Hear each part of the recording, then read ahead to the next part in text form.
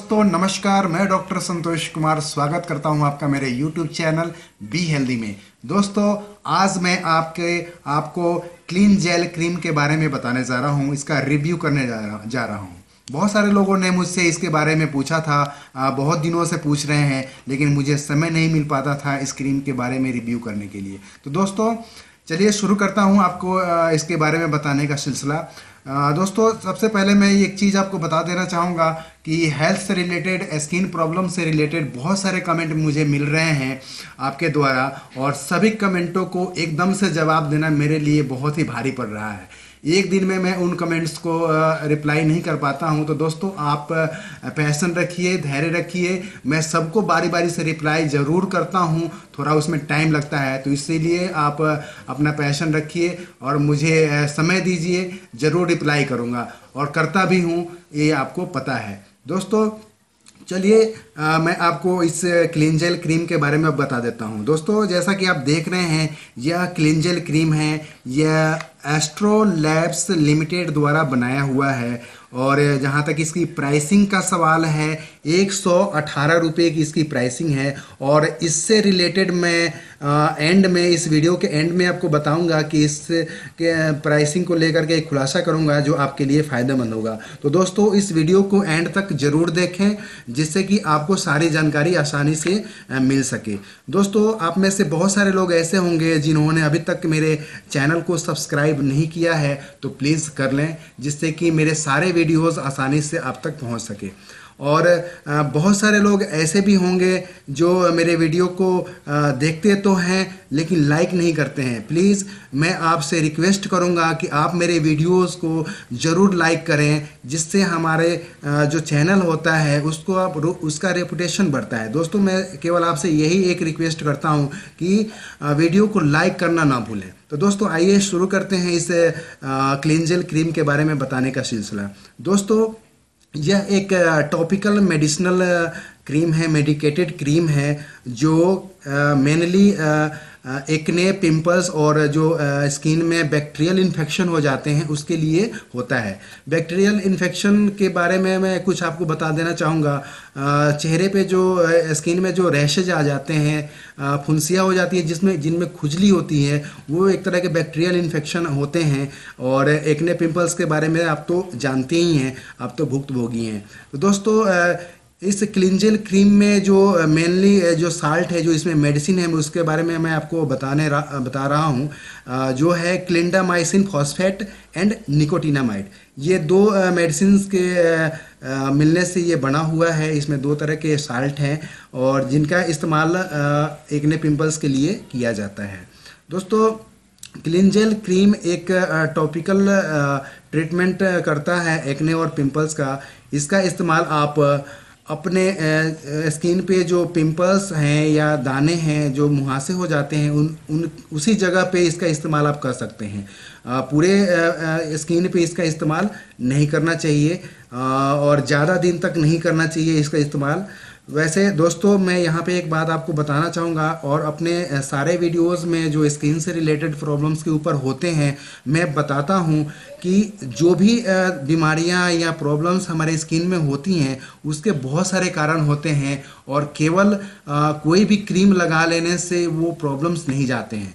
हमें एक्सटर्नली और इंटरनली उसका ट्रीटमेंट देना पड़ता है। तब जा कर के हम किसी प्रॉब्लम्स को, चाहे वो किसी तरह का भी हो या स्किन से रिलेटेड प्रॉब्लम हो या पेट से या किसी तरह का भी प्रॉब्लम हो हमारे शरीर में, उसको हम हटा सकते हैं, दूर भगा सकते हैं। तो दोस्तों, इस वीडियो में मैं इस क्रीम के इस्तेमाल के साथ साथ ही आपको कुछ ऐसे टिप्स भी बताऊँगा, जिसको अगर इस क्रीम के यूज़ के साथ करते हैं तो आप एक्ने फ्री पिंपल्स फ्री हो जाएँगे। आपका स्किन जो है ग्लो करने लग जाएगा, दाग धब्बों से रहित हो जाएगा।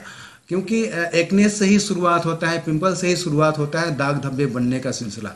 चेहरे पे जो गड्ढे हो जाते हैं, बहुत सारे कमेंट्स में लोग मुझे बता रहे हैं। कुछ लोग मेरे साथ व्हाट्सअप पे जुड़ करके अपने फ़ोटोज़ भी भेज रहे हैं। और मैं उनको सजेस्ट भी कर रहा हूँ कि आपको क्या करना है, क्या नहीं करना है। तो दोस्तों इस क्रीम के साथ साथ आपको कुछ खाने पीने की सावधानियाँ रखनी पड़ेगी। कुछ इसके साथ मैं मेडिसिन सजेस्ट करूँगा, उसको आपको लेनी पड़ेगी, जिससे कि आप कंप्लीटली आप अपने जो प्रॉब्लम है स्किन से रिलेटेड उसको ख़त्म कर लें। तो दोस्तों, आप इस क्रीम का इस्तेमाल सुबह शाम अपने चेहरे को साफ़ पानी से साफ़ करके, अभी सर्दी का मौसम चल रहा है तो आप गुनगुने पानी से चेहरे को साफ़ करके सुबह शाम आप लगा सकते हैं। जैसा कि मैंने पहले भी बताया था जहाँ जहाँ भी दाने हो रहे हैं, पिंपल्स हो रहे हैं या मुहासे हो रहे हैं, वहाँ वहाँ ही इस क्रीम को ज़्यादा लगाना है। बाकी जगह पर ना भी लगाएँगे, फिर भी चलेगा। कहने का मतलब है कि जहाँ पे इन्फेक्शन है, वहीं पे इसका इस्तेमाल करना है। इससे बहुत ही जल्दी आपको फ़ायदा मिलेगा। वैसे ही रात में भी आपको चेहरा साफ़ करके ही लगाना है। अगर आपका चेहरा ऑयली है ज़्यादा तेल आपके स्किन से निकलता है तो आप दिन भर में कम से कम तीन चार बार अपने चेहरे को साफ़ पानी से धोते रहें। जब भी आप बाहर से आएँ तो स्किन को, चेहरे को जो, साफ़ करना ना भूलें। और दोस्तों, इसके साथ ही एक बात और ध्यान देने वाली है कि जब भी आप चेहरा धोते हैं तो किसी साफ़ कपड़े से ही अपने चेहरे को पोछे। किसी तौलिए या रुमाल से अगर पोछ रहे हैं तो वो साफ़ होना चाहिए, यानी एक दो दिन पुराना यूज़ किया हुआ नहीं होना चाहिए। ये भी बहुत ही मायने रखता है स्किन के प्रॉब्लम्स को दूर रखने के लिए। तो दोस्तों, आइए अब तो हो गए क्या क्या आपको डाइट में शामिल करना है? तो दोस्तों, अभी जिस मौसम में आप हैं, उस मौसम में जो मौसमी फल मिलते हैं, उसको, उसका आपका इस्तेमाल करना चाहिए, जिससे कि हमारे शरीर में विटामिन मिनरल्स की पूर्ति हो जाए। वो भी एक कारण होता है, उसकी एक कमी के कारण ही हमारे जो पिंपल्स और एक्ने वगैरह, जो दाइयाँ और चा जो स्किन में इन्फेक्शन होते हैं, वो होते हैं। इसको भी आपको ले करके चलना होगा। वो सी, वो सब चीज़ें यूज़ करनी पड़ेंगी, जिससे कि आप स्किन के प्रॉब्लम्स आपको न हो। अगर आपका डाइजेशन की प्रॉब्लम है तो उसको भी आपको क्लियर करना होगा। कब्ज की शिकायत रहती है डाइजेशन की प्रॉब्लम रहती है, उसको भी आपको दूर रखना होगा। वो आपको पता है कि आप क्या खाते हैं तो आपको डाइजेशन गड़बड़ हो जाती है। क्या नहीं खाते हैं तो आपको डाइजेशन सही रहता है। मेरे हिसाब से ज़्यादातर अगर फास्ट फ़ूड आप लेते हैं मार्केट का कोई भी चीज़ लेते हैं फास्ट फ़ूड के रूप में या कोई भी चीज़ लेते हैं तो वो नुकसान ही करता है, फ़ायदा तो करता नहीं है। तो दोस्तों, उन सब चीज़ों से आप दूर रहें।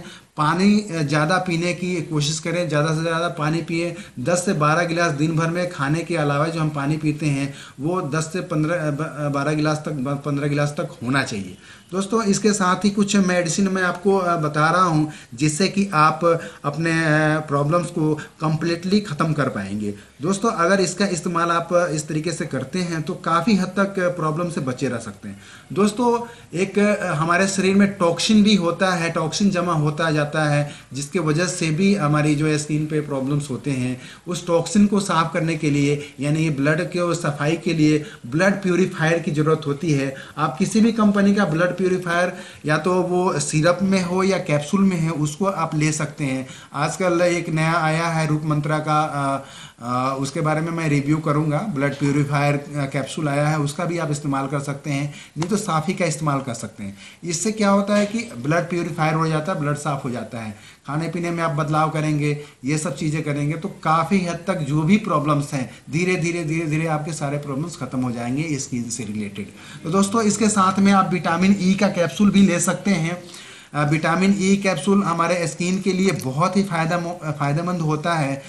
विटामिन ई में ऐसे तत्व होते हैं जो स्किन को टोन करते हैं ग्लो करते हैं, जो स्किन स्किन में एक्ने पिंपल्स वगैरह हो जाते हैं, उसको ये रोकते हैं। तो इस तरीके से आप इनका इस्तेमाल करके अपने एक्ने पिंपल्स को दूर भगा सकते हैं। दोस्तों, अब इनका इस्तेमाल, बहुत सारे लोग पूछते हैं कि इनका इस्तेमाल कितनी देर तक करना है, कितने दिनों तक करना है। तो मैं कम से कम इनका इस्तेमाल, इन दोनों मेडिसिन का इस्तेमाल आपको एक महीने तक करना है। एक महीने से तीन महीने तक ज़रूर करना है। कम से कम एक महीने अगर कम है इन्फेक्शन तो एक महीने कर लीजिए, नहीं तो तीन महीने तक तो आपको करना ही करना है।